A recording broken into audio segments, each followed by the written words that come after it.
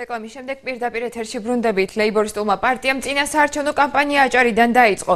შავა ნათელაშვილმა ამ მომრჩეველს პარტიის წინა საარჩევნო პროგრამა ჯერ ქობულეთში წარუდგინა მოგვიანებით კი საზოგადოებას, მათუმის მერობის და მაჟორიტარი დეპუტატობის კანდიდატები გააცნო.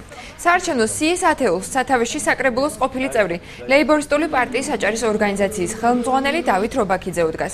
პირველ ხუთეულში შედიან რეჟისორი ნაიმე ძნელაძე, რეჟისორი რეზო ბაინაზიშვილი, ადვოკატი დავით ჯაფარიძე და პანტელეიმონ გოგუაძე.